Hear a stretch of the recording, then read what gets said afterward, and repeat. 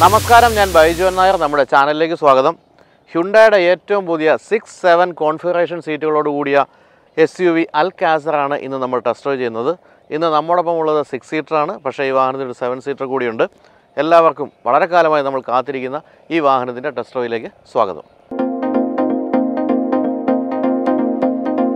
Hyundai Alcazar വരുന്നുവെന്ന് കേട്ടപ്പോൾ എല്ലാവരും ഹ്യുണ്ടായി ക്രെറ്റയുടെ സിക്സ് സീറ്റർ അല്ലെങ്കിൽ സെവൻ സീറ്റർ ആണ് അൽക്കാസർ എന്ന് തീരുമാനിക്കുകയുണ്ടായി. പക്ഷേ ഇപ്പോൾ നിങ്ങൾ ഈ വശക്കാഴ്ചയിൽ കാണുമ്പോൾ നിങ്ങൾക്ക് തന്നെ ബോധ്യപ്പെടും ക്രെറ്റയുമായിട്ട് വലിയ ബന്ധമൊന്നും ഈ വാഹനത്തിന് ഇല്ല എന്നുള്ള കാര്യം. അത് എക്സ്റ്റീരിയർ ആയാലും ഇന്റീരിയർ ആയാലും വ്യാപകമായ മാറ്റങ്ങളോടുകൂടിയാണ് അൽക്കാസർ ഡിസൈൻ ചെയ്തിരിക്കുന്നത്. ഈ കാണുന്നത് പോലെ വളരെ നീളം കൂടിയിട്ടുണ്ട് ഇപ്പോൾ ഈ ഒരു വാഹനത്തിന്. ഞാൻ കൃത്യമായിട്ട് കമ്പയർ ചെയ്യുകയല്ല. ഏകദേശം നമ്മുടെയൊക്കെ മനസ്സിലുള്ളത് കൃത്യമായതുകൊണ്ടാണ് പറയുന്നത്. തന്നെയല്ല ഈ വാഹനത്തിന്റെ ബോണറ്റ് അതുപോലെ ഫ്രണ്ട് ഡോർ അങ്ങനെ പല കാര്യങ്ങളും കൃത്യമായിട്ട് ഷെയർ ചെയ്തിട്ടുമുണ്ട്. പക്ഷേ കൃത്യമായിട്ട് കമ്പയർ ചെയ്യുമ്പോൾ നൂറ്റി അമ്പത് മില്ലിമീറ്റർ വീൽ ബേസ് കൂടുതലുണ്ട് ഈ വാഹനത്തിന്. അതായത് ഈ സെഗ്മെന്റിലെ ഏറ്റവും കൂടിയ വീൽ ബേസ് ഇപ്പോൾ ഈ വാഹനത്തിനുള്ളത്. അതുകൊണ്ട് തന്നെ ഒരു തേർഡ് റോ സീറ്റ് ഫിറ്റ് ചെയ്തപ്പോൾ ഉൾഭാഗത്ത് സ്പേസ് കാര്യമായ രീതിയിൽ വർദ്ധിക്കുകയാണ് ചെയ്തത്. അല്ലാതെ മറ്റ് പല വാഹന നിർമ്മാതാക്കളും ചെയ്യുന്ന പോലെ നിലവിലുള്ള വീൽ ബേസിൽ ഒരു എക്സ്ട്രാ സീറ്റ് ഫിറ്റ് ചെയ്യുകയല്ല ഹ്യുണ്ടായി ചെയ്തിരിക്കുന്നത്. അതുകൊണ്ട് തന്നെ ഉൾഭാഗം വളരെ സ്പേഷ്യസ് ആണ് ഒട്ടും തന്നെ ക്രാംഡ് അല്ല എന്നുള്ളതാണ് സത്യം.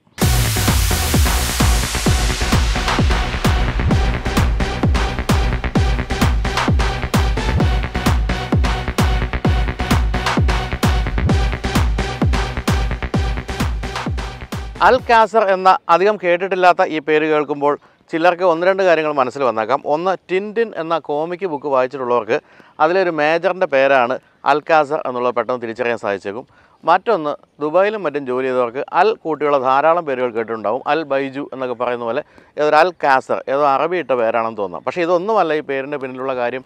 എന്നാണ് ഹ്യുണ്ടായി പറയുന്നത്. സ്പെയിനിലെ ചില കാസിലുകളെ വിളിക്കുന്ന പേരാണ് അൽ കാസർ എന്നുള്ളത്. വളരെ പോഷായിട്ടുള്ള അങ്ങേയറ്റം തല ഉയർത്തി നിൽക്കുന്ന മലമുകളിലും മറ്റും തല ഉയർത്തി നിൽക്കുന്ന പ്രൗഢമായ കാസിലുകളുടെ പേരുകളാണ് അൽ കാസർ എന്നുള്ളത്. ആ പേരിൽ നിന്നാണ് ഈ ഒരു വാഹനത്തിന് പേരിട്ടത് എന്നാണ് ഹ്യുണ്ടായി പറയുന്നത്.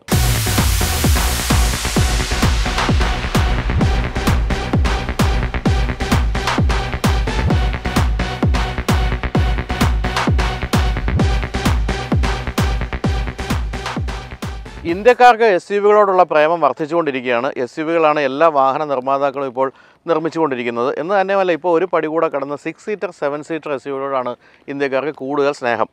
അതിന് ഉദാഹരണമാണ് ഇപ്പോൾ ഏറ്റവും ഒടുവിൽ വന്നിരിക്കുന്ന എം ജി ഹെക്ടർ പ്ലസും അതുപോലെ തന്നെ ടാറ്റ സഫാരിയും എല്ലാം തന്നെ. പക്ഷേ സിക്സ് സീറ്റർ സെവൻ സീറ്റർ എന്നൊക്കെ പറയുമെങ്കിലും മിക്ക വാഹനങ്ങളുടെയും പ്രശ്നം വളരെ ക്രാംഡാണ് അതിന്റെ ഇന്റീരിയർ എന്നുള്ളതാണ്. അതായത് തേർഡ് റോ സീറ്റിൽ അങ്ങനെ കാര്യമായ സ്ഥല സൗകര്യമൊന്നും ഉണ്ടാകാറില്ല. അങ്ങനെ നോക്കുമ്പോൾ ഒരു പരിധി വരെ പ്രാക്ടിക്കലാണ് ഈ വാഹനമെന്ന് കാണാം. കാരണം ഈ സെഗ്മെന്റിലെ ഏറ്റവും അധികം വീൽ ബേസ് ഉള്ള വാഹനം ഇതാണ്.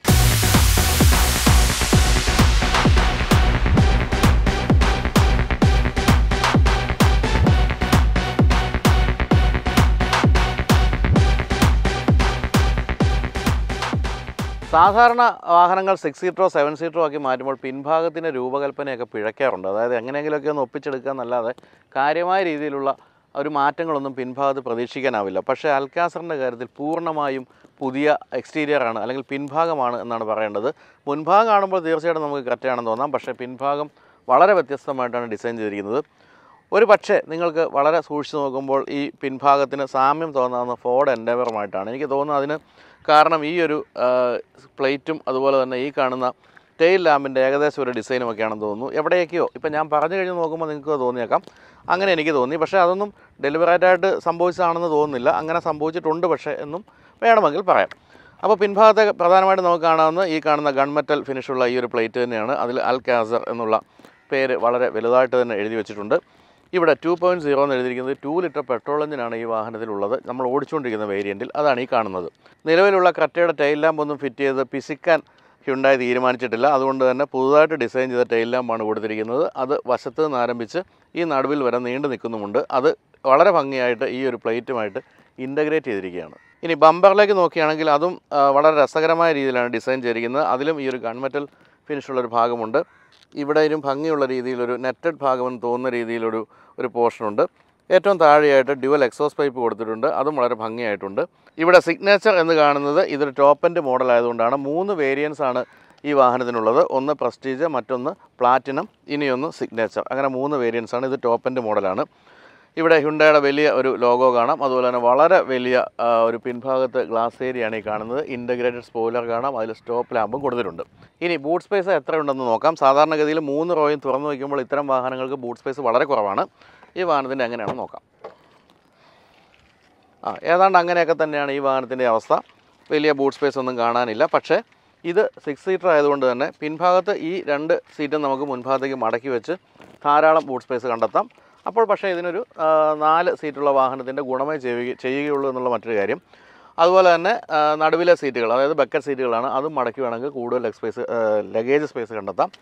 ഇനി അതുമല്ല സെവൻ സീറ്റർ ആണെങ്കിൽ നടുവിൽ ബെഞ്ച് സീറ്റാണ് അത് സിക്സ്റ്റി ഫോർട്ടി ആയിട്ട് സ്പ്ലിറ്റ് ചെയ്യാം. അപ്പോൾ അത് മടക്കി വെച്ചാലും നമുക്ക് ധാരാളം ലഗേജ് സ്പേസ് കണ്ടെത്താം. ജനങ്ങൾക്ക് ഇരിക്കാനാവില്ല എന്ന് മാത്രമേ ഉള്ളൂ.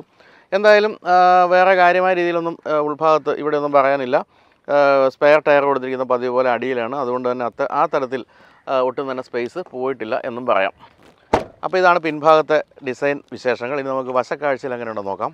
ഞാൻ നേരത്തെ സൂചിപ്പിച്ച പോലെ ഈ സെഗ്മെന്റിലെ ഏറ്റവും അധികം വീൽ ബേസ് ഉള്ള വാഹനമാണിത്. അത് നിങ്ങൾക്ക് ഈ വശക്കാഴ്ചയിൽ ബോധ്യപ്പെടുകയും ചെയ്യും.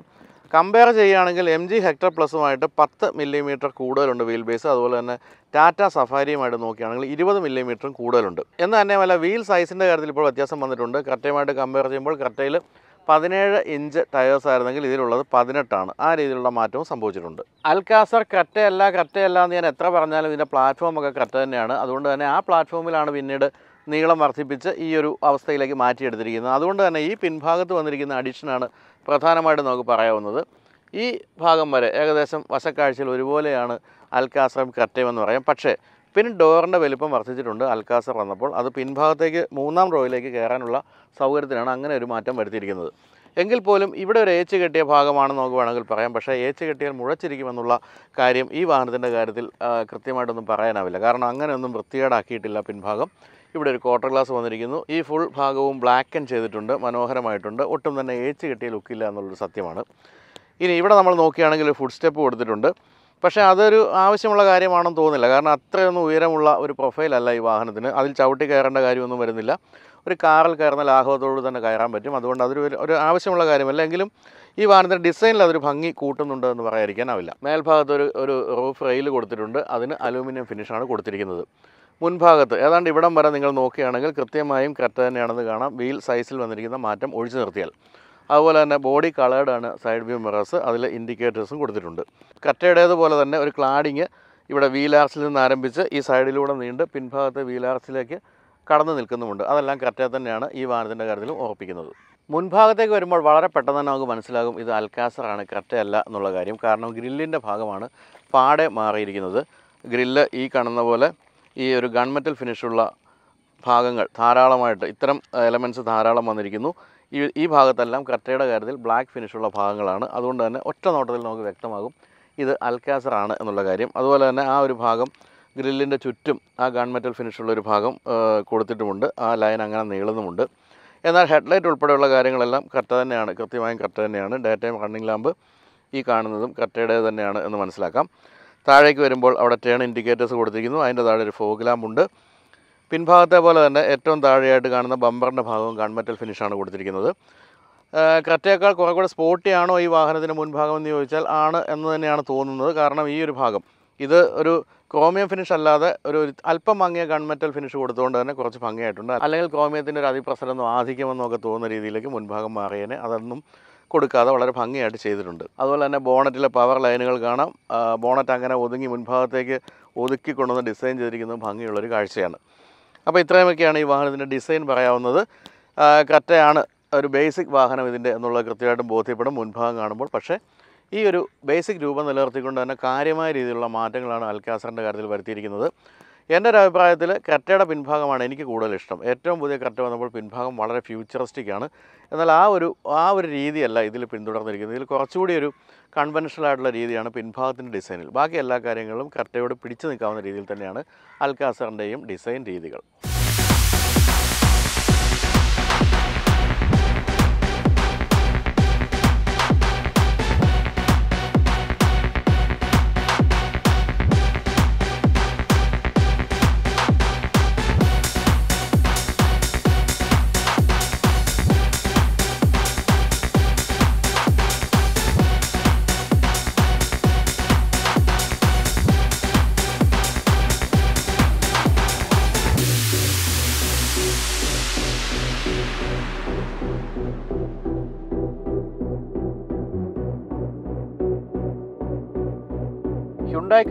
ഉൾഭാഗം മനസ്സിൽ വെച്ചുകൊണ്ട് അൽക്കാസറിന്റെ ഉൾഭാഗത്തേക്ക് കയറുകയാണെങ്കിൽ നമ്മളൊന്നും ഞെട്ടും. കാരണം ഈ വാഹനത്തിന്റെ ഇന്റീരിയർ അങ്ങേയറ്റം പ്രീമിയമാണ് കറക്റ്റൊന്നും അടുത്ത് പോലും വരാത്ത രീതിയിൽ പ്രീമിയമാണ് എനിക്ക് മൊത്തത്തിൽ ഈ വാഹനത്തിന്റെ ഇന്റീരിയർ കാണുമ്പോൾ ഓർമ്മ വന്നത് എം ജിയുടെ ഗ്ലോസ്റ്റർ എന്ന മോഡലാണ്. ഗ്ലോസ്റ്റർ അതിമനോഹരമായ ഇന്റീരിയർ ഉള്ളൊരു വാഹനമാണ്. അതിന്റെ കളേഴ്സും ഏതാണ്ട് ഒരു കളർ തീമും ഇന്റീരിയർ തീമൊക്കെ ഇതിലേക്ക് വന്നിട്ടുണ്ടെന്ന് തോന്നുന്നു.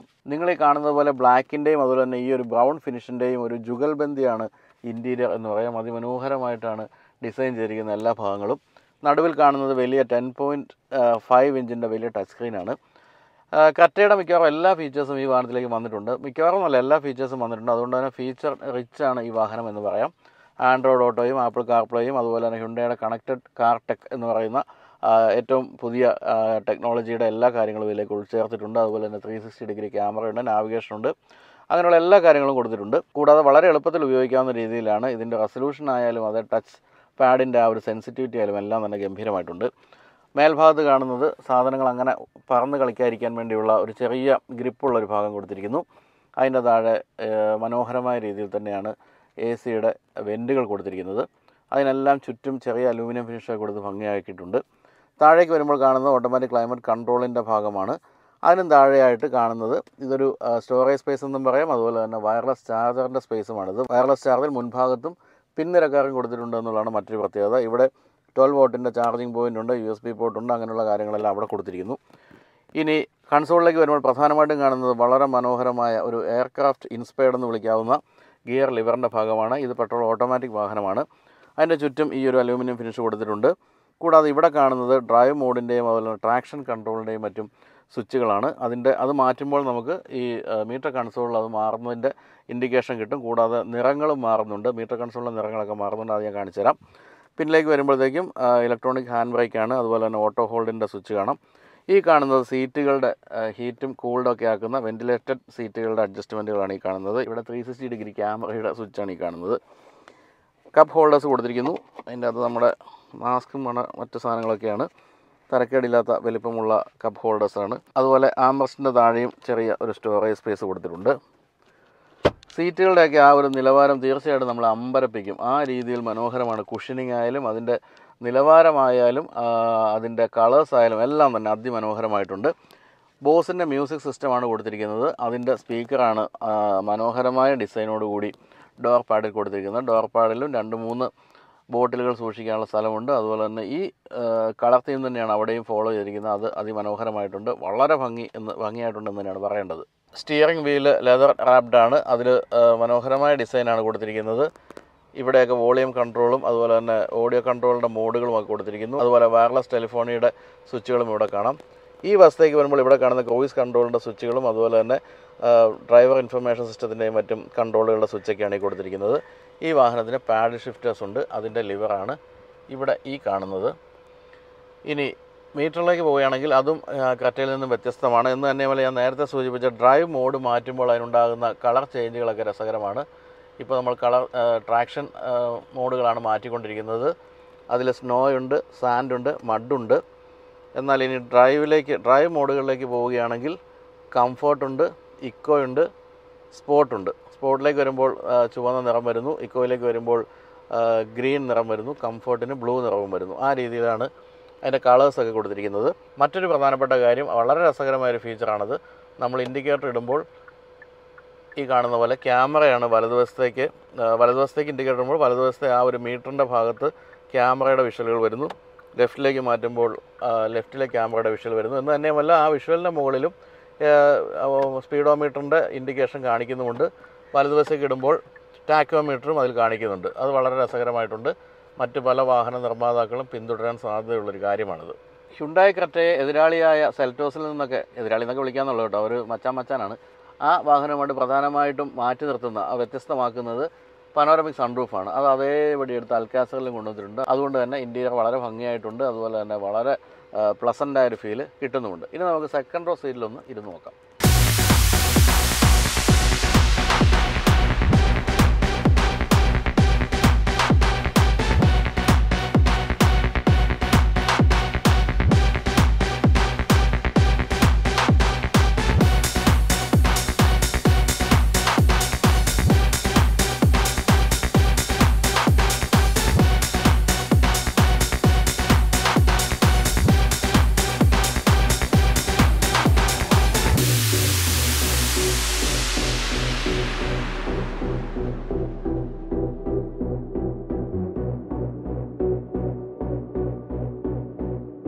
ഞാൻ നേരത്തെ സൂചിപ്പിച്ച പോലെ ഫുഡ് സ്റ്റെപ്പിന്റെ ഒന്നും ആവശ്യമില്ല ഈ വാഹനത്തിന്റെ ഉള്ളിലേക്ക് കയറാൻ. വളരെ എളുപ്പത്തിൽ ഏതൊരു കാറിലും കയറുന്ന ലാഘവത്തോടു കൂടി തന്നെ നമുക്ക് ഉൾഭാഗത്ത് കയറിയിരിക്കാവുന്നതാണ്. ഏറ്റവും ഗംഭീരമായ ഒരു കാര്യം എന്ന് പറയുന്നത് സെക്കൻഡ് റോ സീറ്റാണ് ഇപ്പോൾ നമ്മുടെ കൂടെ ഇങ്ങോട്ട് വന്ന അഖിൽ രണ്ട് അഖിലുമാരുണ്ട് എന്റെ കൂടെ. രണ്ട് അഖിലുമാരും പിൻഭാഗത്തിരുന്ന് നൂറ് ശതമാനം മാർക്ക് നൽകിയിട്ടുണ്ട് പിൻഭാഗത്തിന്. വളരെ കംഫർട്ടബിളാണ് ഇന്നോവയുടെ സീറ്റിനെയൊക്കെ തോപ്പിക്കുന്ന രീതിയിൽ കംഫർട്ടബിളാണ് ഇതെന്ന് പറയാം. ഇപ്പോൾ ഈ മുൻഭാഗത്തെ സീറ്റ് ഡ്രൈവർ സീറ്റ് വളരെ പിന്നിലേക്ക് നീക്കിയിട്ടിട്ടും ലെഗ് സ്പേസിന് കുറവൊന്നുമില്ല. ഈ സീറ്റ് മുന്നിലേക്കാണ് കിടക്കുന്നത്. അവിടെയും ലെഗ് സ്പേസ് ധാരാളം നമുക്ക് കാണാം. ഹ്യുണ്ടയുടെ ഏറ്റവും പുതിയ വാഹനങ്ങളിൽ കാണുന്ന എയർ പ്യൂരിഫയറിന്റെ സ്ക്രീനാണ് ഈ കാണുന്നത്. എത്രത്തോളം പ്യൂരിഫൈഡ് ആണ് എയർ എന്നൊക്കെ നമുക്ക് അതിൽ കാണാം. അതിന്റെ താഴെയായിട്ട് എ സി വെന്റുകളുണ്ട് ഇവിടെ മൊബൈൽ ഫോണും മറ്റും ചാർജ് ചെയ്യുമ്പോൾ സൂക്ഷിക്കാവുന്ന ഒരു സ്ഥലമുണ്ട്. അത് ചാർജർ ഇവിടെ കൊടുത്തിട്ടുമുണ്ട്. ഈ ഒരു ഭാഗമാണ് ഈ വാഹനത്തിന്റെ ഏറ്റവും സുന്ദരമായ ഒരു ഭാഗമെന്ന് തോന്നുന്നു. അതായത് സെക്കൻഡ് റോ സീറ്റിലിരിക്കുന്നവർക്ക് ഗംഭീരമായ ഒരു കൺസോൾ ഇങ്ങനെ കൊടുത്തിരിക്കുകയാണ്. അത് മൂവ് ചെയ്യാവുന്ന കൺസോളല്ല ഫിക്സഡ് ആണ്. പക്ഷേ അതിൽ കപ്പ് ഹോൾഡേഴ്സ് കൊടുത്തിരിക്കുന്നു. അതുപോലെ തന്നെ ഇവിടെയും വയർലെസ് ചാർജർ കൊടുത്തിട്ടുണ്ട് എന്നുള്ളതാണ് ഏറ്റവും വാഹന പ്രേമികളെയും ഫോൺ പ്രേമികളെയും ഒരേപോലെ സന്തോഷിപ്പിക്കുന്ന കാര്യം. സാധാരണഗതിയിൽ പിൻസീറ്റ് യാത്രക്കാർക്ക് അങ്ങനെ ഒരു ആഡംബരം വളരെ പ്രീമിയം വാഹനങ്ങളിലേ കൊടുക്കാറുള്ളൂ. ഇതിൽ ഇവിടെ അത് കിട്ടിയിട്ടുണ്ട്. ഇവിടെയും സ്റ്റോറേജ് സ്പേസ് ഉണ്ട്. അത് നന്നായിട്ടുണ്ട്. അതുപോലെ തന്നെ നിങ്ങൾ ഈ കാണുന്ന പോലെ സീറ്റ് ക്യാപ്റ്റൻ സീറ്റാണ്. കാരണം ഇതൊരു സിക്സ് സീറ്ററാണ് അപ്പോൾ ക്യാപ്റ്റൻ സീറ്റിന്റെ ആ ഒരു ഇരിക്കാനുള്ള സുഖം ഞാനിങ്ങനെ സുഖമായിട്ടിരിക്കുന്ന കാണുമ്പോൾ നിങ്ങൾക്ക് ബോധ്യപ്പെടുന്നുണ്ടാകും. ഇവിടെ തൈ സപ്പോർട്ട് നന്നായിട്ട് കൊടുത്തിട്ടുണ്ട്. അതുകൊണ്ട് തന്നെ കാൽ സുഖമായി വെച്ചിരിക്കാം. അതുപോലെ തന്നെ പിൻഭാഗത്തേക്ക് നമുക്ക് സ്ലാൻഡ് ചെയ്യാനുള്ള സൗകര്യമുണ്ട്. ഇങ്ങനെ ചരിച്ച് ഇവിടം വരെയൊക്കെ സ്ലാൻഡ് ചെയ്യാം. മുൻഭാഗത്തേക്കും പിൻഭാഗത്തേക്കും നമുക്ക് സീറ്റ് മാനുവലി മാറ്റുകയും ചെയ്യാം. ഒരു കാര്യം പറയാൻ ഞാൻ വിട്ടുപോയി അപ്പോൾ മുൻഭാഗത്ത് ഡ്രൈവർ സീറ്റ് നമുക്ക് ഇലക്ട്രിക്കലിയാണ് അഡ്ജസ്റ്റ് ചെയ്യാവുന്ന ഹൈറ്റ് ഉൾപ്പെടെയുള്ള എല്ലാ കാര്യങ്ങളും അഡ്ജസ്റ്റ് ചെയ്യാം. പക്ഷേ പാസഞ്ചർ സീറ്റിന് മാനുവൽ അഡ്ജസ്റ്റ്മെന്റ് ആണ് കൊടുത്തിരിക്കുന്നത്. ഇനി ഏറ്റവും ആധുനികമായ കാലത്ത് വേണ്ട ലാപ്ടോപ്പൊക്കെ വെച്ച് വർക്ക് ചെയ്യണമെങ്കിൽ അതിനുള്ള ഒരു ടേബിളാണ് ഇവിടെ കൊടുത്തിരിക്കുന്നത്. അത് ഈ രണ്ട് സീറ്റുകളുടെയും പിൻഭാഗത്ത് കൊടുത്തിട്ടുണ്ട്. ഇവിടെ വളരെ ചെറിയൊരു നെറ്റഡ് ഭാഗവുമുണ്ട്. അവിടെയും മൊബൈൽ ഫോണും മറ്റും നമുക്ക് സൂക്ഷിക്കാം. അതുപോലെ ഡോർ പാഡിൽ ഇവിടെയും ബോസിന്റെ വലിയ മ്യൂസിക് സിസ്റ്റത്തിന്റെ സ്പീക്കറിന്റെ ആ ഭാഗമാണ് കാണുന്നത്. അതുപോലെ തന്നെ രണ്ട് ബോട്ടിലുകൾ സൂക്ഷിക്കാവുന്ന സ്ഥലമാണ് അതിന്റെ താഴെയുമുള്ളത് അതുപോലെ തന്നെയാണ് മുൻഭാഗത്തെ പോലെ തന്നെ അതിമനോഹരമായിട്ടാണ് ഡോർ പാഡുകളുടെ ആ ഒരു ഡിസൈൻ എന്നുള്ളതും പറയാതിരിക്കാനാവില്ല അതുപോലെ തന്നെ ഇവിടെ നമുക്ക് ഉയർത്തി വയ്ക്കാവുന്ന മാനുവലി ഉയർത്തി വയ്ക്കാവുന്ന സൺ ബ്ലൈൻഡ് കൊടുത്തിട്ടുണ്ട്. അത് ഈ ഒരു വലിയ ഗ്ലാസ് ഏരിയ മാത്രമല്ല പിൻഭാഗത്തെ ചെറിയ ഗ്ലാസ് ഏരിയയിലേക്ക് പോലും കടന്നു നിൽക്കുന്ന രീതിയിൽ വളരെ തോട്ട്ഫുള്ളായിട്ടാണ് ചെയ്തിരിക്കുന്നത്. ഈ കാണുന്ന പോലെ ഇങ്ങേ അറ്റം വരെ അതായത് സെക്കൻഡ് ഡോസിലിരിക്കുന്ന ആളുടെ തലയുടെ പിൻഭാഗം വരെ ഈ സൺറൂഫ് എത്തുന്നുണ്ട്. അതുകൊണ്ട് തന്നെ സുഖമായിട്ടിരുന്ന് യാത്ര ചെയ്യാം. ഇനി വിവാദ സീറ്റിലേക്ക് പോകാം. വിവാദ സീറ്റ് എന്ന് ഞാൻ പറഞ്ഞത് തേർഡ് റോ സീറ്റാണ് കാരണം എപ്പോഴും തേർഡ് റോ സീറ്റ് വളരെ കുട്ടികൾക്ക് ഇരിക്കാൻ പറ്റുന്ന രീതിയിലാണ് വാഹന നിർമ്മാതാക്കൾ രൂപകൽപ്പന ചെയ്യുന്നത്. എന്നിട്ട് സിക്സ് സീറ്റർ എന്നോ സിക്സ് സിക്സ് സീറ്റർ അല്ല സിക്സ് സീറ്റർ എന്നോ അല്ലെങ്കിൽ സെവൻ സീറ്റർ എന്നോ വിളിക്കാറുണ്ട്. ഈ വാഹനത്തിന്റെ കാര്യത്തിൽ ഇവിടെ നോക്കിയിട്ട് വലിയ വ്യത്യാസമൊന്നും കാണുന്നില്ല. എങ്കിലും നമുക്കൊന്ന് ഇരുന്ന് നോക്കാം. അപ്പോൾ ഞാൻ അങ്ങനെ തേർഡ് റോ സീറ്റിലേക്ക് കയറാൻ പോവുകയാണ്. വളരെ എളുപ്പമാണ്. ഇവിടെ ഈ കാണുന്ന ലിവർ പിടിച്ച് ഇങ്ങനെ ഒന്ന് വെക്കുക. അപ്പോൾ അത് ഇങ്ങനെയായിട്ട് ഇതാ ഇങ്ങനെ വളരെ എളുപ്പത്തിൽ ഒരു ഒരു ഫെദർ ടച്ച് മതി. സുഖമായിട്ട് മടക്കാൻ സാധിക്കും. അങ്ങനെ ഞാൻ പിൻഭാഗത്തേക്ക് കയറുകയാണ് സുഹൃത്തുക്കളെ. കയറുകയാണ്. കയറി ഇരുന്നു ഇരുന്നിട്ട് സീറ്റ് എടുത്ത് നിവർത്തി. ആ കണ്ടല്ലോ നിങ്ങളുടെ കാൽ എന്റെ കാലിരിക്കുന്നുണ്ടോ? അത്ര സുഖമായിട്ടൊന്നും ഇരിക്കാൻ സാധിക്കില്ല. കുട്ടികൾക്കാണ് ഇരിക്കാൻ സാധിക്കുന്നത്. സാമാന്യ നീളമുള്ള ഒരാൾക്ക് വളരെ ബുദ്ധിമുട്ടാണ് മുൻഭാഗത്തിരിക്കാൻ. ഇപ്പോൾ ഈ ഒരു സീറ്റ് വളരെ പിന്നിലേക്കാണ് നീക്കിയിട്ടിരിക്കുന്നത് എന്നുള്ള മറ്റൊരു കാര്യം. അഖില ഈ സീറ്റ് ഒന്ന് മുന്നിലേക്ക് വലിക്കാമോ? ഈ സീറ്റ് എത്രത്തോളം അത് മുന്നിലേക്ക് നീക്കിയിട്ടാൽ എത്രത്തോളം ലെഗ് സ്പേസ് ഉണ്ടെന്ന് നമുക്ക് നോക്കാം. ആ എങ്കിലും ഇത്രയൊക്കെ തന്നെ ഉള്ളൂ. തന്നെയുമല്ല നമ്മൾ ഇരിക്കുന്ന കാണാം. പ്ലാറ്റ്ഫോം അല്പം ഉയർന്നതായതുകൊണ്ട് കാൽ അല്പം ഉയർന്നാണ് ഇരിക്കുന്നത്. സുഖകരമായ ഇരിപ്പല്ല. എന്നാലും അത് തേർഡ് റോ സീറ്റിൽ എപ്പോഴും കുട്ടികൾക്ക് ഇരിക്കാൻ തന്നെയാണ് വാഹന നിർമ്മാതാക്കൾ ഉദ്ദേശിക്കുന്നത്. അതുകൊണ്ട് തന്നെ ആ ഒരു പർപ്പസ് സെർവ് ചെയ്യുന്നുണ്ടെന്ന് മാത്രം വിചാരിച്ചാൽ മതി. ഇനി പിൻഭാഗത്ത് വരുമ്പോൾ എന്തൊക്കെയാണ് കിട്ടിയിരിക്കുന്ന സൗകര്യങ്ങൾ എന്ന് വെച്ചാൽ ഇവിടെയും എ സി വെന്റുകൾ കൊടുത്തിട്ടുണ്ട്. രണ്ട് സൈഡിലും കൊടുത്തിട്ടുണ്ട്. കപ്പ് ഹോൾഡേഴ്സ് കൊടുത്തിട്ടുണ്ട്. ഇവിടെ എ സിയുടെ ഫാനിന്റെ സ്പീഡ് കൂട്ടുകയും കുറയ്ക്കുകയും ചെയ്യാനുള്ള സ്വിച്ച് കൊടുത്തിട്ടുണ്ട്. പിന്നെ ചാർജിങ് പോയിന്റ് കൊടുത്തിട്ടുണ്ട്. സീറ്റ് ബെൽറ്റും പിൻഭാഗത്തേക്ക് കൊടുത്തിട്ടുണ്ട്. പിന്നെ ഇവിടെ ഈ ഒരു ഗ്ലാസ് ഏരിയ ഉള്ളതുകൊണ്ട് അങ്ങനെ ക്രാംഡായ ഫീലൊന്നുമില്ല. അങ്ങനെയൊക്കെ ഇരിക്കാൻ സാധിക്കും. തന്നെയല്ല ഈ മുൻഭാഗത്തെ സീറ്റ് വന്ന് അടയാത്തതുകൊണ്ട് എന്നെപ്പോലുള്ള ക്ലസ്ട്രോഫോബിയ ഉള്ളവർക്ക് പേടിക്കാതിരിക്കാൻ സാധിക്കും. ഈ ഇടയ്ക്കൊരു സ്പേസ് ഇങ്ങനെ കിടക്കുന്നുണ്ട്. തന്നെയല്ല ഒരു കാലം വേണമെങ്കിൽ ഇങ്ങനെയൊക്കെ വെച്ചിരിക്കാം. എങ്കിൽ പോലും നമ്മളങ്ങനെ പറയാവുന്നേ ഉള്ളൂ. അതൊന്നും അത്ര സുഖപ്രദമായ ഇരിപ്പല്ല. കൊച്ചു കുട്ടികൾക്ക് വേണമെങ്കിൽ മൂന്ന് പേർക്ക് വേണമെങ്കിൽ ഇരിക്കാമെന്നുള്ളത് മറ്റൊരു കാര്യം. അപ്പോൾ ഇതൊക്കെയാണ് ഈ സീറ്റിന്റെ പ്രത്യേകത. ആ പിന്നെ നമുക്ക് ഇങ്ങനെ ഹെഡ് റെസ്റ്റ് ഞാൻ ഈ കഴിഞ്ഞ വീഡിയോയിലും പറഞ്ഞു ഇത് ആംറസ്റ്റ് എന്ന്. ഹെഡ് റെസ്റ്റ് ആണ്. എന്നെനിക്ക് അറിയാഞ്ഞിട്ടല്ല അവിടെ തെറ്റിപ്പോന്നു. അപ്പോൾ ഉയർത്തി വയ്ക്കാവുന്ന ഹെഡ് റെസ്റ്റും കൊടുത്തിട്ടുണ്ട്. സീറ്റിന്റെ തൈ സപ്പോർട്ടൊക്കെ വളരെ കുറവാണ്. കാരണം പ്ലാറ്റ്ഫോം ഉയർന്നാണ് ഇരിക്കുന്നത്. എന്തായാലും പിൻഭാഗത്തെ കയറാൻ എളുപ്പമാണ്. ഒരൊറ്റ ടച്ചിൽ സാധനം തിരിഞ്ഞ് മറന്നേക്ക് അങ്ങോട്ട് പൊക്കോളും എന്നുള്ളതാണ് ഗുണം. ബാക്കി എല്ലാ വാഹനങ്ങളൊക്കെ പോലെ തന്നെ. എനിക്ക് തോന്നിയിരിക്കുന്നത് തേർഡ് റോ സൈഡിൽ അടുത്ത കാലത്ത് കുറച്ചെങ്കിലും സുഖമായിട്ടിരിക്കാവുന്ന എം ജി ഗ്ലോസ്റ്ററിന്റെ കാര്യത്തിലാണ്. പക്ഷേ അത് കുറച്ചുകൂടെ വലിയ വാഹനമാണ്. ബാക്കി എല്ലാ വാഹനങ്ങളും ഈ കാര്യത്തിൽ ഒരുപോലെ തന്നെയാണ്.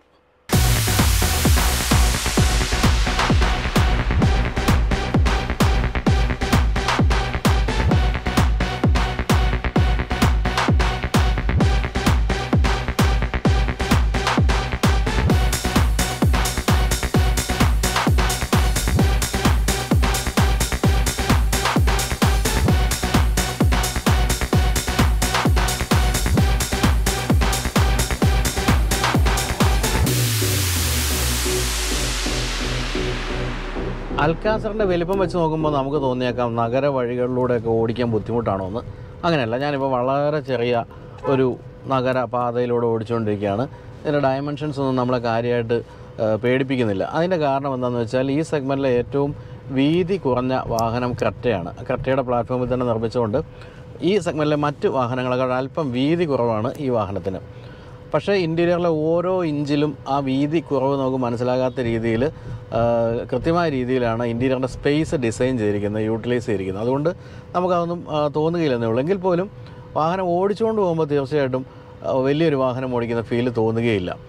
എൻജിന്റെ കാര്യത്തിലായാലും സസ്പെൻഷനായാലും എല്ലാം തന്നെ ഈ വാഹനത്തിന് ഏറ്റവും ചേരുന്ന രീതിയിലാണ് ഡിസൈൻ ചെയ്തിരിക്കുന്നത് നിർമ്മിച്ചിരിക്കുന്നതെല്ലാം. അതായത് ക്രെറ്റയുടെ സസ്പെൻഷൻ ഒക്കെയാണ്. എല്ലാം അതുതന്നെയാണ് പ്ലാറ്റ്ഫോം അത് തന്നെയാണെങ്കിൽ പോലും വാഹനത്തിന്റെ വലിപ്പം കൂടിയതനുസരിച്ച് അല്ലെങ്കിൽ വീൽ ബേസ് കൂടിയതനുസരിച്ച് അതിലെല്ലാം കാര്യമായ വ്യത്യാസം വരുത്തിയിട്ടുണ്ട്.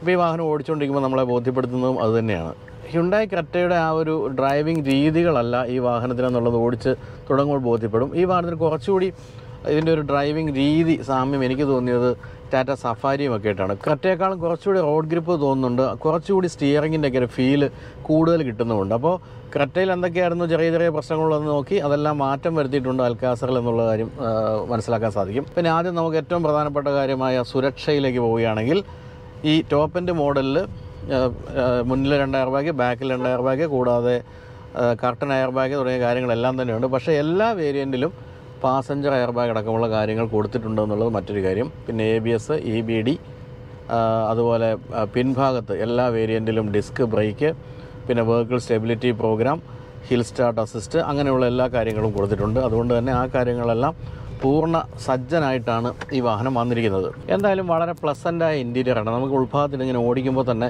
ഈ കാണുന്ന ഈ ബ്രൗൺ ലെതറിന്റെ ആ ഒരു രീതികളും അതിന്റെ സ്റ്റിച്ചിങ് അതുപോലെ തന്നെ ഇന്റീരിയറിന്റെ മൊത്തത്തിലുള്ള ലേഔട്ട് എല്ലാം നമ്മൾ നമ്മൾ ആസ്വദിച്ചുകൊണ്ടായിരിക്കും ഓടിക്കുക. ഈ വാഹനത്തിന്റെ പ്രത്യേകതയായിട്ട് തോന്നുന്നത് അതാണ്. കട്ടയുടെ കാര്യത്തിൽ കട്ടയുടെ ആദ്യകാല മോഡലുകളിലെ ബീജ് ഇന്റീരിയർ എനിക്ക് തീരെ ഇഷ്ടമില്ലായിരുന്നു. പിന്നീട് പക്ഷേ കളേഴ്സൊക്കെ മാറി വന്നപ്പോൾ വളരെ സ്റ്റൈലിഷായി. എങ്കിൽ പോലും ഇതിന് ഇതിന് കൂടെ കുറേ കൂടി പ്രീമിയം ലുക്കാണ് തോന്നുന്നത്. അതുപോലെ തന്നെ നമുക്ക് പല കാര്യങ്ങളും വളരെ എളുപ്പത്തിൽ യൂസ് ചെയ്യാവുന്ന രീതിയിൽ. ഇപ്പോൾ ത്രീ സിക്സ്റ്റി ഡിഗ്രി ക്യാമറ ആയാലും ഞാൻ ഇടയ്ക്ക് കാണിച്ചു തന്ന ഈ മീറ്റർ കൺസോളിലെ ക്യാമറ നമ്മൾ ഇൻഡിക്കേറ്റർ ഇടുമ്പോൾ ക്യാമറയുടെ വിഷ്വൽ വരുന്ന ഉൾപ്പെടെയുള്ള കാര്യങ്ങളെല്ലാം നമ്മളുടെ ഡ്രൈവിംഗ് വളരെ ഈസി ആക്കുന്നുണ്ട്. കൂടാതെ ഡ്രൈവ് മോഡുകളും അതുപോലെ തന്നെ ട്രാക്ഷൻ മോഡുകളും ഉണ്ട് എന്നുള്ളത് നമ്മൾ കണ്ടു കഴിഞ്ഞു. Drive mode comfort eco sport മൂന്ന് മോഡാണ്. അതിൽ നമ്മൾ സ്പോർട്ടിലേക്ക് ഇപ്പോൾ മാറ്റിയിടുകയാണ്. ഈ ടൗണിൽ വലിയ മാറ്റിയിട്ടിട്ട് കാര്യമൊന്നും ഇല്ലെങ്കിൽ പോലും ആ പെട്ടെന്ന് തന്നെ വളരെ ഇനിഷ്യൽ ഇനിഷ്യലി ആ ടോർക്ക് കയറി വരെ നമുക്ക് ആസ്വദിക്കാൻ കഴിയുന്നുണ്ട്. അത് ഇക്കോയിലേക്ക് മാറുമ്പോൾ കുറച്ചുകൂടി ഒന്ന് വാഹനം പരുങ്ങുന്നു. കംഫർട്ടിലേക്ക് വരുമ്പോൾ കുറച്ചുകൂടി സോഫ്റ്റ് ആകുന്നു. ആ രീതിയാണ് നമുക്ക് പെട്ടെന്ന് തോന്നുക. അതുപോലെ തന്നെ ട്രാക്ഷൻ എന്ന് പറയുന്നത് ഫോർ വീൽ ഡ്രൈവ് വാഹനം അല്ലെങ്കിൽ പോലും ട്രാക്ഷൻ കൺട്രോളിൽ സ്നോ സാൻഡ് മഡ് തുടങ്ങിയ മൂന്ന് കാര്യങ്ങളാണ്. അതിൽ മഡും സാൻഡും നമുക്കിവിടെ ഉപയോഗിക്കാം. സ്നോ ഉപയോഗിക്കണമെങ്കിൽ കുറച്ച് കഷ്ടപ്പെടും. അപ്പോൾ ഇത്രയും കാര്യങ്ങളൊക്കെയാണ് പൊതുവായിട്ട് പറയാനുള്ളത്. നമ്മുടെ മുഖ്യമന്ത്രി പത്രസമ്മേളനത്തിന്റെ ഒടുവിൽ പറയുന്ന പോലെ ഇതൊക്കെയാണ് ഇന്ന് പൊതുവായിട്ട് പറയാനുള്ളത്. ഇനി നമുക്ക് കൂടുതൽ പൊതുവായിട്ടല്ലാത്ത കാര്യങ്ങളിലേക്ക് പോകാം. അത് എൻജിന്റെ കാര്യമാണ്. ക്രെറ്റയിൽ നിന്ന് ജനിച്ച വാഹനമാണെങ്കിൽ പോലും എൻജിന്റെ കാര്യത്തിൽ വ്യത്യാസമുണ്ട്. എൻജിന്റെ കാര്യത്തിൽ എന്ന് പറഞ്ഞാൽ ഡീസൽ എൻജിൻ ഒന്ന് തന്നെയാണ് രണ്ടിലും ഉള്ളത്. പക്ഷേ പെട്രോൾ എൻജിന്റെ കാര്യത്തിൽ ഈ അൽക്കാസറിൽ മാറ്റം സംഭവിച്ചിട്ടുണ്ട്. ആ, മൂന്ന് എൻജിൻ ഓപ്ഷൻസ് ആണുള്ളതെങ്കിൽ ഇതിൽ രണ്ട് എൻജിൻ ഓപ്ഷൻസേ ഉള്ളൂ. ഒന്ന് വൺ പോയിന്റ് ഫൈവ് ലിറ്റർ ഡീസലും മറ്റൊന്ന് ടു ലിറ്റർ പെട്രോളും. ടു ലിറ്റർ പെട്രോൾ എഞ്ചിനാണ് ഞാനിപ്പോൾ ഓടിച്ചുകൊണ്ടിരിക്കുന്നത്. ഈ ടു ലിറ്റർ പെട്രോൾ എന്ന് പറയുന്നത് നമ്മുടെയൊക്കെ മനസ്സിലേക്ക് ആദ്യം വരുന്നത് എന്തായിരിക്കും? മൈലേജ് വളരെ കുറവായിരിക്കും എന്നുള്ള തോന്നലാണ്. പക്ഷേ ഞാനിപ്പോൾ ഇത് ഇതിന്റെ മൈലേജ് എത്രയാണെന്ന് ഏറെ പറഞ്ഞത് എനിക്ക് അറിഞ്ഞുകൂടാ. കാരണം ഞാൻ പലയിടത്തും നോക്കിയിട്ടും അതിനെപ്പറ്റി എനിക്ക് വിവരം കിട്ടിയില്ല. പക്ഷേ ഇതിൽ റിയൽ ടൈം കാണിച്ചുകൊണ്ടിരിക്കുന്നത് പതിനാല് കിലോമീറ്റർ പെർ ലിറ്ററാണ് എന്ന് പറയുന്നത് ഒട്ടും മോശമല്ല. ഈ ടൗണിലെ തിരക്കിൽ. അതായത് ഏറ്റവും തിരക്കുള്ള ഒരു സമയത്താണ് ഇപ്പോൾ ഓടിച്ചുകൊണ്ടിരിക്കുന്നത് ആ സമയത്ത് പതിനാല് കിലോമീറ്റർ മൈലേജ് കിട്ടുന്നു എന്ന് പറയുന്നത് ടൂ ലിറ്റർ എഞ്ചിനെ സംബന്ധിച്ച് വലിയ സംഭവമാണ്. അത് ഗിന്നസ് ബുക്കിൽ പോലും കയറാൻ പറ്റുന്നൊരു കാര്യമായിട്ടാണ് എനിക്ക് തോന്നുന്നത്. ഇന്നലെ രാവിലെ തൊട്ട് ഞാൻ ഈ വാഹനം ഓടിച്ചുകൊണ്ട് നടക്കുന്നുണ്ട്. അപ്പോൾ എപ്പോഴും ഈ കാണിക്കുന്നത് thirteen point two to thirteen point eight ഒക്കെയാണ്. അങ്ങനെ റിയൽ ടൈം കാണിക്കുന്നത് ശരിയാണെങ്കിൽ സംഭവം ഗംഭീരമാണെന്ന് പറയാതിരിക്കാൻ പറ്റില്ല. കറ്റയിൽ ഘടിപ്പിച്ചിരിക്കുന്ന വൺ പോയിന്റ് ഫൈവ് ലിറ്റർ പെട്രോളും one point four litre turbo പെട്രോളും അതുപോലെ തന്നെ വൺ പോയിന്റ് ഫൈവ് ലിറ്റർ ഡീസലുമാണെങ്കിൽ അൽക്കാസറിൽ ഞാൻ സൂചിപ്പിച്ച പോലെ രണ്ട് രണ്ട് എൻജിൻ ഓപ്ഷൻസേ ഉള്ളൂ അത് ടു ലിറ്റർ പെട്രോളും മറ്റൊന്ന് one point five litre turbo charge diesel എഞ്ചിനുമാണ്. Two litre petrol engine നമ്മൾ കണ്ടിട്ടുള്ളതാണ്. ഹ്യുണ്ടായുടെ ട്യൂസോൺ എന്ന വലിയ എസ് യു വിൽ ഘടിപ്പിച്ചിരിക്കുന്ന എഞ്ചിനാണിത്. ന്യൂ എൻ യു അതായത് ന്യൂ എന്നറിയപ്പെടുന്ന ആ സീരീസിൽ പെടുന്ന എഞ്ചിനാണിത്. സെയിം എഞ്ചിൻ തന്നെയാണെങ്കിലും പവറിന്റെ കാര്യത്തിൽ വ്യത്യാസം സംഭവിച്ചിട്ടുണ്ട്. ട്യൂസോണിനേക്കാളും ഏഴ് ബി എസ് പി കൂടുതലാണ് ഈ എഞ്ചിന് കൊടുത്തിരിക്കുന്ന പവർ. ഇപ്പോൾ അത് നൂറ്റി അമ്പത്തി ഒമ്പത് ബി എസ് പി ആയി. നേരത്തെ നൂറ്റി അമ്പത്തി രണ്ടായിരുന്നു അത് ടൂ സോണിലായിരുന്നപ്പോൾ. എന്നാൽ ടോർക്ക് ഒരല്പം കുറയുകയാണ് ടൂ സോണിലെ എഞ്ചിനേക്കാളും ഉണ്ടായത്. വൺ നയന്റി വൺ ന്യൂട്ടൺ മീറ്ററാണ് ഇപ്പോഴത്തെ ടോർക്ക് അത് one point two newton metre കുറവാണ് ടൂ സോണിലെ എഞ്ചിനേക്കാളും. അത് ഈ വാഹനത്തിന്റെ മൊത്തത്തിലുള്ള ക്യാരക്ടേഴ്സ് വെച്ചിട്ടായിരിക്കാം അത്തരത്തിലുള്ള മാറ്റങ്ങൾ എഞ്ചിനിൽ വരുത്തിയത്. കാര്യമായ രീതിയിൽ കാലിബ്രേറ്റ് ചെയ്തിട്ടുണ്ട് എഞ്ചിനായാലും. അതുപോലെ തന്നെ സസ്പെൻഷൻ ആ രീതിയിൽ ഈ വാഹനത്തിന് പറ്റുന്ന രീതിയിൽ ട്യൂൺ ചെയ്തിട്ടുണ്ട്. കാരണം വീൽ ബേസ് വർദ്ധിച്ചിട്ടുണ്ട്. തന്നെയുമല്ല നൂറ്റി അമ്പത് കിലോഗ്രാം ഭാരം കൂടുതലുണ്ട് കറ്റയേക്കാളും അൽക്കാസറിന്. അപ്പോൾ ആ ഒരു മാറ്റം കൂടി മുന്നിൽ കണ്ടുകൊണ്ടാണ് എഞ്ചിനിൽ പവർ കൂട്ടിയിരിക്കുന്നതും അതുപോലെ തന്നെ സസ്പെൻഷനൊക്കെ മോഡിഫൈ ചെയ്തിരിക്കുന്നതും. ഈ രണ്ട് എഞ്ചിനുകൾക്കും അതായത് പെട്രോളിനും ഡീസലിനും സിക്സ് സ്പീഡ് മാനുവൽ ഗിയർ ബോക്സും ഉണ്ട് six speed torque converter type automatic gear ബോക്സും ഉണ്ട്. നമ്മളിപ്പോൾ ഓടിച്ചുകൊണ്ടിരിക്കുന്ന ഓട്ടോമാറ്റിക് ഗിയർ ബോക്സുള്ള ആൾക്കാസറാണ് ഈ ഗിയർ ബോക്സ് വളരെ പെപ്പിയാണ്. യഥാർത്ഥത്തിൽ ഈ ടോർക്ക് കൺവെർട്ടർ ഉള്ള ഓട്ടോമാറ്റിക് ഗിയർ ബോക്സ് ഓടിക്കുന്നത് ഒരു രസമുള്ള കാര്യമാണ്. കാരണം സാധാരണ സി വി ടിയിലൊക്കെ ഉണ്ടാകുന്ന പോലുള്ള റബ്ബർ ബാൻഡ് എഫക്റ്റ് ഒന്നുമില്ല. കുറച്ചുകൂടി മൈലേജ് കുറഞ്ഞ ടൈപ്പ് ആണെങ്കിൽ പോലും ഇതിൽ മോശമായ രീതിയിലല്ല അത് പെരുമാറുന്നത്. ഈ എഞ്ചിന് പറ്റുന്ന രീതിയിൽ എഞ്ചിന്റെ ക്യാരക്ടേഴ്സിനനുസരിച്ച് അതിന് പറ്റുന്ന രീതിയിലാണ് ഈ ഗിയർ ബോക്സ് കൊടുത്തിരിക്കുന്നത്. വളരെ രസകരമാണ് ഓടിക്കാൻ. അതുപോലെ തന്നെ ഡ്രൈവ് മോഡുകൾ മാറ്റി ചേഞ്ച് ചെയ്ത് ഓടിക്കുമ്പോൾ കുറേ കൂടി രസമുള്ളതാകുന്നുണ്ട്. സസ്പെൻഷന്റെ കാര്യത്തിൽ വന്നിരിക്കുന്ന മാറ്റം എന്ന് വെച്ചാൽ ഡാമ്പേഴ്സിൽ ഹൈഡ്രോളിക് ബം സ്റ്റോപ്പുകൾ കൊടുത്തിട്ടുണ്ട്. അതുകൊണ്ട് തന്നെ കുറച്ചുകൂടി ഒരു ബെറ്റർ കുഷനിങ് വരുന്നുണ്ട്. അതുപോലെ തന്നെ റീബൗൺസ് ചെയ്യുന്നില്ല. നമ്മൾ കുഴിയിലൊക്കെ ചാടിക്കഴിഞ്ഞ് വീണ്ടും എടുത്തു പോകുമ്പോൾ അല്ലെങ്കിൽ കുഴി ചാടിക്കഴിയുന്ന ആ നിമിഷത്തിലുണ്ടാകുന്ന ഒരു ബൗൺസ് ഉണ്ടല്ലോ. ആ ബൗൺസ് ഒഴിവാകുന്നുണ്ട് ഈ ഹൈഡ്രോളിക് ബം സ്റ്റോപ്പുകൾ വന്നപ്പോൾ. അതുകൊണ്ട് തന്നെ കുറേ കൂടി രസകരമായ കുഷ്യൻ എഫക്റ്റ് കിട്ടുന്നുണ്ട്. നമ്മൾ യാത്ര ചെയ്യുമ്പോൾ. പിൻഭാഗത്ത് ഒന്ന് രണ്ട് പേരൊക്കെ ഇരുന്ന് യാത്ര ചെയ്തു. കാര്യമായ രീതിയിൽ ബോഡി റോൾ ഇല്ല എന്നാണ് പറയുന്നത്. എങ്കിൽ പോലും ഇത്രയും ഗ്രൗണ്ട് ക്ലിയറൻസുകളുടെ വാഹനമാകുമ്പോൾ സ്വാഭാവികമായിട്ടും കുറച്ചൊക്കെ പ്രതീക്ഷിക്കാം. അതെന്തായാലും ഉണ്ടാകും. പക്ഷേ കാര്യമായ രീതിയിൽ അത് ഫീൽ ചെയ്യുന്നില്ല എന്നുള്ളതാണ് സത്യം. ഏതായാലും ഒരു ആയിരം ആർ പി എം മുതൽ ഏഴായിരം ആർ പി എം വരെ ഉള്ളൊരു പവറിന്റെ ബാൻഡുണ്ട് തീർച്ചയായിട്ടും ബോറടിക്കാതെ ഓടിക്കാൻ പറ്റുന്നൊരു വാഹനമാണിത്. അതുപോലെ തന്നെ രണ്ടായിരത്തി അഞ്ഞൂറ് ആർ പി എം ഒക്കെ ആകുമ്പോഴത്തേക്കും എഞ്ചിന്റെ സൗണ്ട് കേൾക്കാൻ വളരെ രസകരമാണ്. ഹൃദയഹാരിയായ സൗണ്ട് എന്നൊക്കെ എന്റെ സ്ഥിരം ഭാഷയിൽ വേണമെങ്കിൽ പറയാം. അപ്പോൾ എയ്റ്റീൻ ഇഞ്ച് വീൽ കൂടിയ വീൽ ബേസ് കൂടിയ എൻജിൻ പവർ ഡ്രൈവ് മോഡുകൾ അങ്ങനെ പല പല കാര്യങ്ങളാണ് നമ്മളെ അൽ കാസറിൽ കാത്തിരിക്കുന്നത്. ഒരു സിക്സ് സീറ്റർ ആണോ എന്ന് ചോദിച്ചാൽ സിക്സ് സീറ്റർ ആണ്. പക്ഷേ പിന്നിലെ രണ്ട് സീറ്റുകൾ കുട്ടികൾക്ക് ആണ് കൂടുതൽ സുഖമായി ഇരിക്കാൻ സാധിക്കുന്നത്.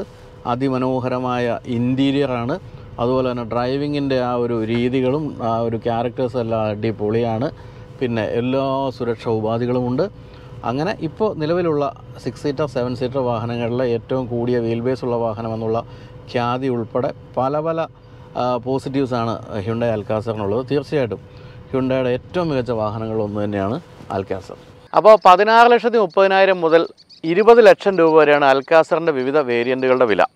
ഏറ്റവും രസകരമായ കാര്യം ഈ വാഹനത്തിന്റെ ഡീസൽ എഞ്ചിൻ ഓപ്ഷനും അതുപോലെ തന്നെ പെട്രോൾ എഞ്ചിൻ ഓപ്ഷനും രണ്ടിന്റെയും വിലകൾ തമ്മിൽ വലിയ വ്യത്യാസമില്ല എന്നുള്ള കാര്യമാണ്. ഏകദേശം പതിനയ്യായിരം രൂപയുടെ വ്യത്യാസമേ ഉള്ളൂ വിവിധ വേരിയന്റുകൾ തമ്മിൽ. അതായത് ഡീസൽ എഞ്ചിൻ മോഡലുകൾക്ക് പതിനയ്യായിരം രൂപ കൂടുതൽ പെട്രോൾ എഞ്ചിൻ മോഡലിനേക്കാൾ.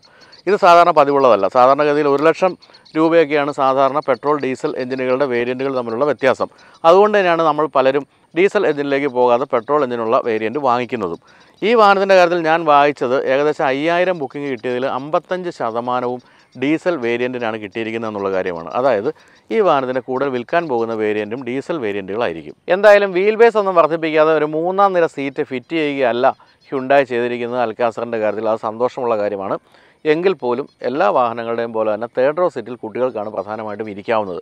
എങ്കിൽ പോലും ഉൾഭാഗം അതിഗംഭീരമായിട്ടാണ് ഡിസൈൻ ചെയ്തിരിക്കുന്നത്. അതിന്റെ നിലവാരവും അതിഗംഭീരമാണെന്ന് പറയാതിരിക്കാനാവില്ല. പിന്നെ ഹുണ്ടായുടെ ഏതൊരു വാഹനവും പോലെ തന്നെ ഫീച്ചേഴ്സിന്റെ ഒരു ആധിക്യം നമുക്ക് എവിടെ നോക്കിയാലും കാണുകയും ചെയ്യാം. അങ്ങനെ എല്ലാ തരത്തിലും ഒരു ഗംഭീര വാഹനം തന്നെയാണ് അൽക്കാസർ. കറ്റയെപ്പറ്റി നമുക്കറിയാം. കറ്റ കിട്ടാനില്ലാത്ത അവസ്ഥയാണ്. ബുക്ക് ചെയ്ത് മാസങ്ങളോളം കാത്തിരിക്കേണ്ട അവസ്ഥയുമാണ്. അങ്ങനെയുള്ളവർക്ക് തീർച്ചയായിട്ടും അൽക്കാസറിനെ ആശ്രയിക്കാം. ആദ്യം തന്നെ ബുക്ക് ചെയ്താൽ നേരത്തെ കിട്ടുമായിരിക്കും. പിന്നീട് കട്ടയുടെ അവസ്ഥ തന്നെ അൽക്കാസറിന് വരാനുള്ള സാധ്യത തീർച്ചയായിട്ടും ഉണ്ട് അപ്പോൾ നിങ്ങൾക്ക് ഈ വീഡിയോ ഇഷ്ടമായി എന്ന് കരുതുന്നു. ഇഷ്ടമെങ്കിൽ ലൈക്ക് ചെയ്യുക ഷെയർ ചെയ്യുക ബെൽ ബട്ടൺ അമർത്തുക. സബ്സ്ക്രൈബ് ചെയ്യാത്തിട്ടുണ്ടെങ്കിൽ സബ്സ്ക്രൈബ് ചെയ്യുക. പുതിയ വാഹന വിശേഷങ്ങളും മറ്റ് പല വിശേഷങ്ങളുമായിട്ട് വീണ്ടും കാണാം. വീഡിയോ ഉണ്ടോ എല്ലാവർക്കും നന്ദി. നമസ്കാരം.